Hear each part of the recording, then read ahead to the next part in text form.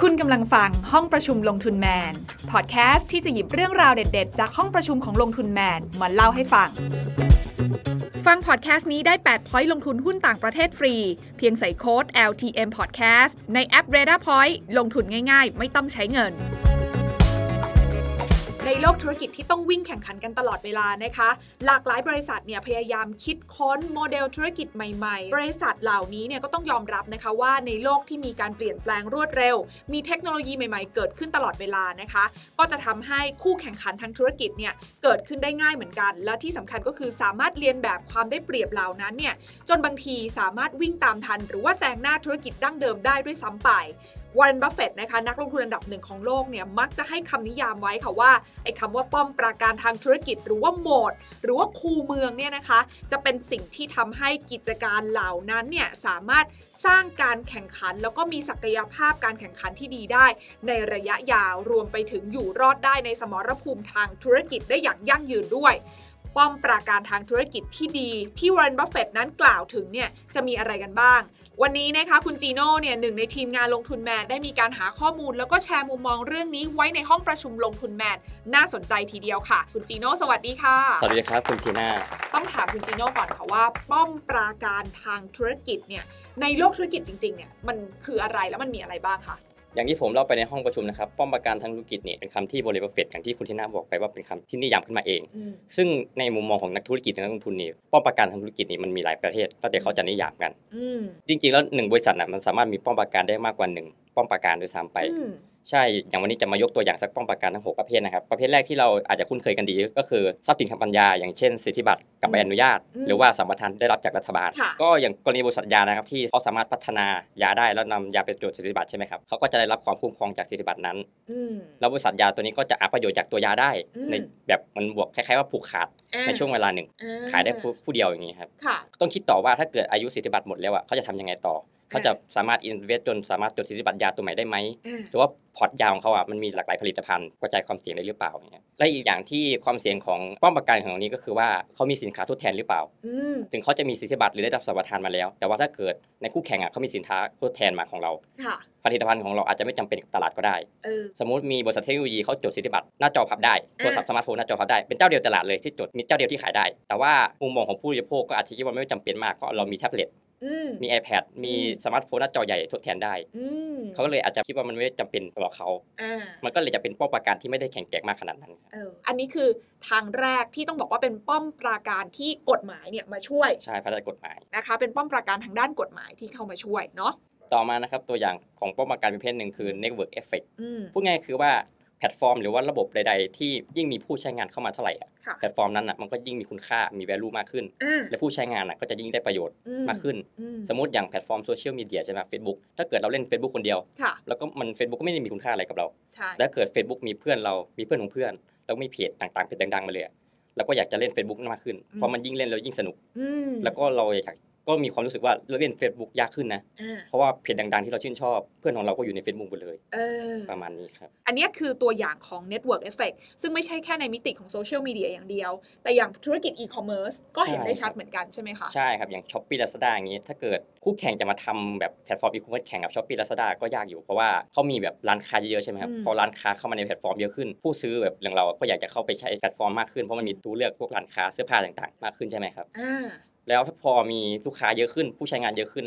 ร้านค้าต่างๆ ก็ยิ่งอยากจะเข้ามาในแพลตฟอร์มมากขึ้นใช่มันจะเสริมซึ่งกันและกันเออทำให้ network มันยิ่งแข็งแกร่งมากขึ้นถูกนี่เป็นตัวอย่างนะครับ และที่สำคัญอีกมิติหนึ่งก็คือ พอมีคนใช้งานจริงซื้อของจริงก็มีการรีวิว ใช่ครับ มีนี่ข้อมูลอยู่บนนั้น นี่เป็นแบบ value ของแพลตฟอร์มอีคอมเมิร์ซแล้วยิ่งมีคนรีวิวมากเท่าไหร่มันยิ่งเสริมสร้างสภาพแวดล้อมเอื้อในการซื้อขายมากขึ้นถูกเมื่อพอเราเห็นร้านค้าได้คะแนนรีวิวดีๆแล้วก็อ่าอยากจะซื้อจากเขาใช่ไหมครับใช่ธุรกิจดั้งเดิมก็มี network effect ได้อย่างวีซ่ามาสเตอร์การ์ดใช่ไหมครับยิ่งมีร้านค้ามาเข้าระบบรับบัตรเครดิตวีซ่ากับมาสเตอร์การ์ดมากเท่าไหร่ผู้คนทั่วไปอย่างผู้บริโภคเราก็ยิ่งอยากจะถือบัตรวีซ่ามาสเตอร์การ์ดมากขึ้นเท่านั้นอืมเพราะมันสะดวกไงใช่ครับแล้วยิ่งถูกปะมีคนถือบัตรวีซ่ามาสเตอร์การ์ดมากเท่าไหร่ร้านค้าก็ยิ่งอยากเข้ามาในระบบมากเท่านั้นมันจะเสริมซึ่งกันและกันคล้ายๆเหมือนระบบอีคอมเมิร์ซเลยครับอ่าโอเค เห็นภาพนะคะ นอกจากเรื่องของทรัพย์สินทางปัญญาใบสิทธิบัตรทั้งหลายหรือ Network Effect แล้วป้อมปราการทางธุรกิจที่ดีมีอะไรอีกบ้างคะตัวอย่างป้องประกันต่อมาคือมีข้อมูลยุคนี้ใช่ไหมครับข้อมูลเป็นทรัพยากรที่มีค่ามากเออเหมือนอย่างน้ำมันใช่ไหมครับอย่างที่เรารู้กันดี พอบริษัทมีข้อมูลเยอะแล้วรู้จักใช้ประโยชน์จากข้อมูลนั้นน่ะมันก็เอาข้อมูลนั้นไปพัฒนาสินค้าและบริการ ให้ตอบโจทย์ลูกค้ามากขึ้น แล้วพอมันตอบโจทย์ลูกค้าได้มากขึ้น ลูกค้าก็จะกลับมาใช้บริการใหม่อืมพอลูกค้ากลับมาใช้บริการใหม่อาจจะชวนเพื่อนๆหรือคนอื่นๆมาใช้บริการอีกด้วยเออเพราะเขาประทับใจใช่ครับถูกเปล่าว่าเฮ้ยโอ้ใช้แล้วแบบทำไมเขารู้จักเราดีอย่างนี้แนะนำสิ่งที่เราต้องการได้แบบใช่นี้ครับถูกไหมในตัวอย่างในโลกธุรกิจจริง บริษัทไหนที่เน้นการสร้างป้อมปราการด้านนี้แล้วทำได้สำเร็จบ้างคะ จริง ๆ ก็ใกล้ตัวเราก็คือแพลตฟอร์มสตรีมมิ่ง Netflix อ่ากับ Spotify นะครับค่ะที่เขาจะเก็บข้อมูลเราอย่างละเอียดเลย ว่าเราฟังเพลงอะไรดูคอนเทนต์อะไร ทุกนาทีว่าเราดูนานขนาดไหนกดอืมคลิกหยุดหรือกดเล่นตอนไหนอืมเราชอบเรื่องอะไร แล้วก็เขาจะนำข้อมูลส่วนนี้ไปประมวลผล แล้วก็คาดคะเนว่าเราจะชอบคอนเทนต์อะไรต่อไป เพื่อนำเสนอคอนเทนต์กับเพลงที่โดนใจเรามากที่สุดเนาะใช่ครับก็จะไม่แปลกใจว่าทำไมเราถึงแบบ เริ่มติด Netflix มากขึ้นเรื่อยๆเพ ราะว่าเหมือนกับว่าเอ้ยเปิดดูเอ้ยอันนี้ก็น่าดูนะ ซีรีส์นี้ก็ดูใช่ใช่นะอะไรอย่างเงี้ยมันก็จะกดดูต่อไปเรื่อย ๆ แบบเนี้ยเขาเรียกว่าข้อมูลเนี่ยมันเป็นสิ่งที่ทำให้บริษัทเหล่านี้สามารถดึงลูกค้าใช่ให้คกรัลับบมาใช้บริการได้อย่างสม่ำเสมอจะมาใช้ซ้ำแล้วก็ให้ติดกับแพลตฟอร์มมากขึ้น เออนะ และที่สำคัญโดยเฉพาะอย่างยิ่งยุคนี้เป็นยุค AI ใช่ไหมใช่ เออ AI เนี่ยเขาบอกกินข้อมูลเป็นอาหาร ยิ่งข้อมูลเยอะ AI ก็สามารถทำงานได้ดีขึ้นประมวลผลได้ดียิ่งขึ้นฉลาดเลยยิ่งฉลาดขึ้นอย่างเทสลาใช่ไหมอืมผู้นำรถไฟฟ้าตอนนี้ค่ะคือเทสลาเนี่ยเขาจะมีการเก็บข้อมูลพฤติกรรมการขับขี่ของแต่ละคน แล้วข้อมูลอื่น ๆ ที่รถเทสลาเก็บได้จากบนท้องถนนที่แต่ผู้รับผู้ขับขี่ขับขี่ในแต่ละประเทศทั่วโลกใช่ไหมครับอืมคือเทสลาเขาจะได้เปรียบในข้อมูลตรงนี้ เพราะว่าเขาสามารถนำข้อมูลต่างๆเนี่ยมาพัฒนาซอฟต์แวร์ในระบบรถยนต์ของเขาเองอืมกับพัฒนาระบบขับเคลื่อนอัตโนมัติ ตรงนี้ทำให้เทสลานี่มีข้อได้เปรียบคู่แข่งรายอื่นๆเพราะว่าเทสลาไม่ใช่แค่มาก่อน แต่ว่าเทสลาเขามีข้อมูลมหาศาลอืมที่สามารถไปพัฒนาแพลตฟอร์มของเขาได้ จริงนะเขาบอกว่าคนขับรถ EV เนี่ยจริง ๆ แล้วหลังจากเนี้ยที่จะกลายเป็นเหมือนแบบรถยนต์ขับเคลื่อนด้วยตัวเองเนี่ยนะคะใช่ครับมันต้องใช้ Data เหล่านี้แหละมาประมวลผล ซึ่ง Tesla เองเนี่ยเขาบอกว่าเขาเน้นการพัฒนาตรงนี้เลย อีกหน่อยก็คือ ทุกคนเนี่ยขับรถไปก็เหมือนจะคอย feed ข้อมูลให้ Tesla ไปเรื่อยใช่ครับๆเอามาประมวลเสร็จแล้วเขาก็จะไปพัฒนาเป็นซอฟต์แวร์ที่ดีขึ้นใช่ให้ทุกคนเนี่ยสามารถดาวน์โหลดซอฟต์แวร์นั้น ลงมาอยู่บนรถ Tesla ของตัวเองใช่ครับแล้วก็ขับเคลื่อนได้ดีขึ้นใช่ครับมันก็เป็นลูปแบบนี้ไปเป็น loop เรื่อยไปเรื่อยๆอืม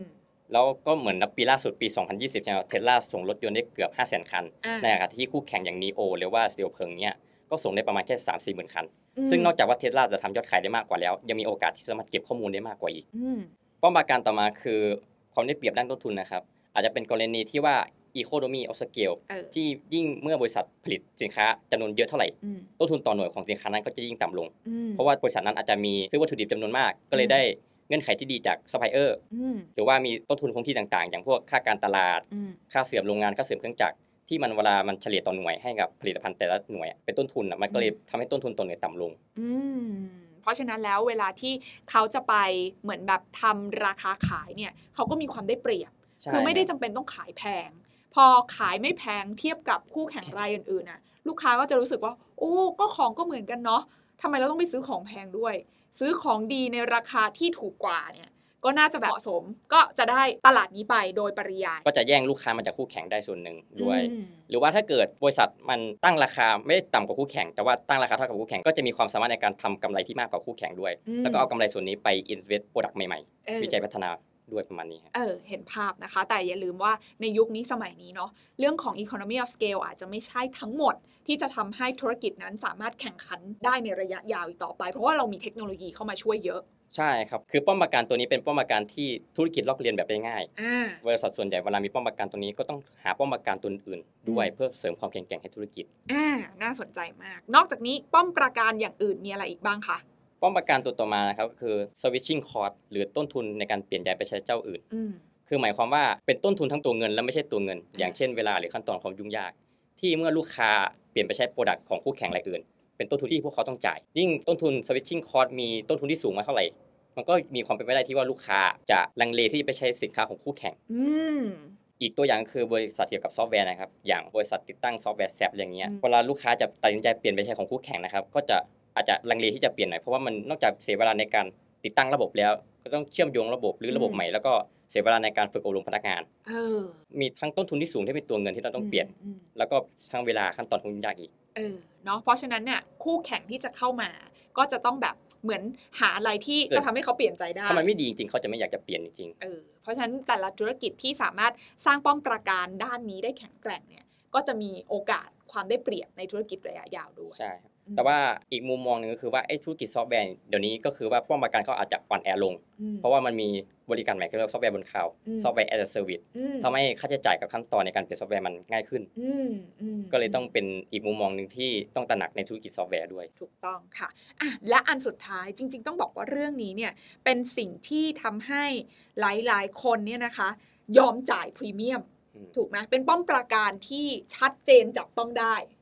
ใช่ครับ แล้วก็เป็นเป้าหมายการที่ใช้เวลาในการสร้างนานที่สุด นั่นก็คือ แบรนด์ที่แข็งแกร่งครับอืมแบรนด์ที่แข็งแกร่งนี่ก็คือว่านอกจากมันจะทำให้ลูกค้า loyalty กับเรามากขึ้นแล้ว มันยังทำให้แบรนด์น่ะมีความสามารถในการตั้งราคาที่สูงกว่าคู่แข่งได้อืมซึ่งราคาที่ผู้บริโภคจ่ายแพงกว่าคู่แข่งเนี่ยที่ในผลิตภัณฑ์ที่มีความใกล้เคียงกัน หรือคุณสมบัติใกล้เคียงกันเขาจะเรียกว่ามูลค่าแบรนด์นะครับเป็นค่าแบรนด์อืมอย่างเช่นเหมือนกรณีของ Apple อีกตัวอย่างก็คือ ไม่ว่า Apple จะออกผลิตภัณฑ์อะไรที่ราคาสูงแค่ไหนสาวก Apple ก็พร้อมที่จะจ่ายเต็มที่อ่าเพื่อได้มาครอบครองนะครับประมาณนี้ ถูกต้องหรือแม้กระทั่งร้านกาแฟเนาะเวลาที่แบบเรากาแฟเหมือนกันน่ะแต่การที่แบรนด์มันแข็งแกร่งเนี่ยอย่าง Starbucks อย่างเงี้ยใช่ขายแพงกว่าแบรนด์อื่น เราก็ยังยอมจ่ายถูกไหมเพราะว่าแบรนด์ Starbucks ไม่ได้ให้แค่กาแฟ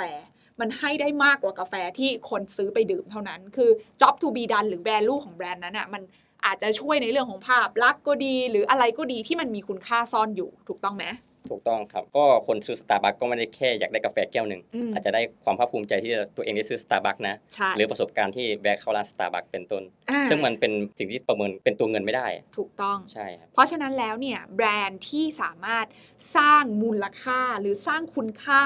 ให้ลูกค้าหรือผู้บริโภคเนี่ยรับรู้ได้เนี่ย จะสามารถคอมเมนต์ราคาได้ ก็คือสามารถปรับเพิ่มราคาได้โดยที่ลูกค้าเนี่ยไม่ได้อินออดที่จะจ่ายเพิ่มถูกไหมใช่ครับ มุมนี้เป็นมุมที่น่าสนใจครับ คือเวลาจะทดสอบว่าแบรนด์ไหนแข็งแกร่งนี่ก็ดูที่ความสามารถในการปรับขึ้นราคาอืมถ้าเกิดแบรนด์นั้นสามารถปรับขึ้นราคาให้ตามต้นทุนที่สูงขึ้นได้ และลูกค้ายอมจ่ายเท่าเดิมเออหรือว่ามีลูกค้ามาใช้บริการมากขึ้นอืมแสดงว่าแบรนด์นั้นแข็งแกร่งอืมแล้วเกิดแบรนด์ไหนที่พอปรับขึ้นราคานิดหน่อยปุ๊บ แล้วลูกค้าหายไปเอออัอันนี้แสดงว่าแบรนด์มีปัญหาแล้วเออมุมนี้เป็นมุมที่ทำให้พวกเราทุกคนเนี่ยสามารถเอาไป พิจารณาในมุมของนักลงทุนเนาะก็ไปวิเคราะห์เลือกกิจการที่จะเลืลอกงหุ้นทุนที่ลได้งทุนอย่างยั่งยืน ถูกไหมหรือว่าในมุมของผู้ประกอบการเองลองไปเช็คซิว่าเอ๊ะตอนเนี้ยธุรกิจของเราเนี่ยมีป้อมปราการด้านไหนบ้าง แล้วแข็งแกร่งมากน้อยขนาดไหน ส่วนไหนที่จะต้องเติมเติมแล้วดูมีความได้เปรียบในระยะยาว เราก็ไปมุ่งพัฒนาในด้านนั้น จะได้ไม่เสียเวลาในโลกที่ธุรกิจเนี่ยมีการแข่งขันตลอดเวลานั่นเองนะคะ และนี่ก็เป็นอีกหนึ่งข้อมูลดีๆ ที่วันนี้คุณจีโน่เนี่ยได้หาข้อมูลแล้วก็เอามาฝากพวกเราทุกคนกันขอบคุณคุณจีโน่มากๆเลยนะคะขอบคุณครับ คุณทีน่ากดติดตามลงทุนแมนพอดแคสต์ได้ทุกช่องทาง ทั้ง Spotify, SoundCloud, Apple Podcast, Podbean และ b l o k d i t